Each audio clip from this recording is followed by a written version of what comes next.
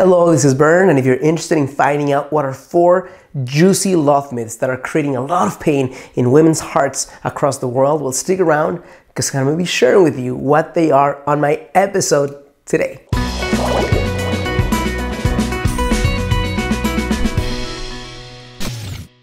Hello, this is Bern. Welcome to your greatlifetv.com. Today is another edition of Get the Love You Crave, and uh, this is only the 25th take. That's why I'm laughing.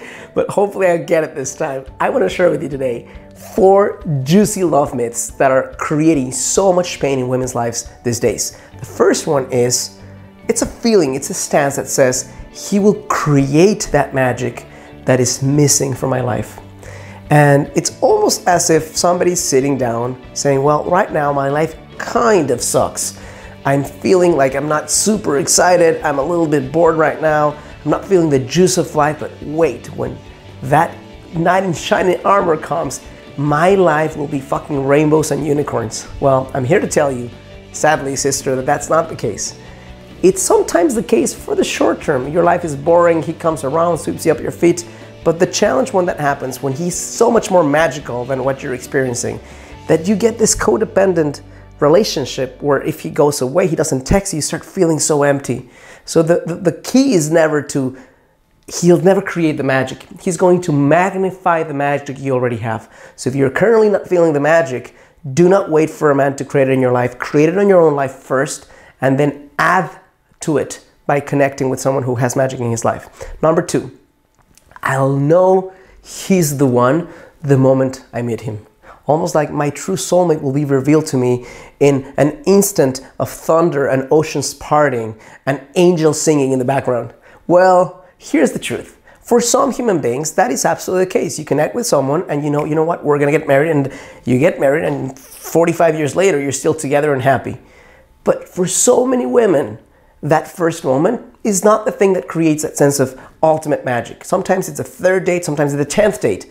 But if you're going around life feeling like you need to know in that instant that that person's the one, you're gonna leave so many opportunities on the table and so many men who could have been that amazing human being, that slow fire that could have turned into an amazing, you know, uh, bonfire, uh, uh but it wasn't just this powerful spark at the beginning, but can change through time.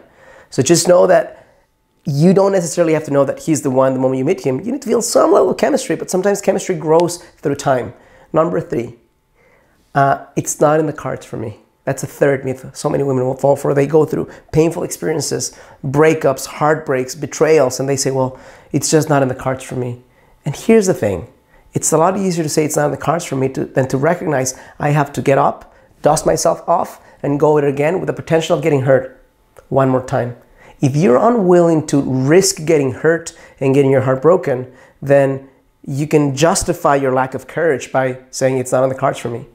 If you want this experience and you're willing to pay the price, which is a huge theme in every video I share, if you're not willing to pay the price to be in love with someone, to share your heart openly, which is the price is potentially getting hurt, potentially wasting your time. If you're not willing to go there, then you'll potentially come up with something that says it's not on the cards for me.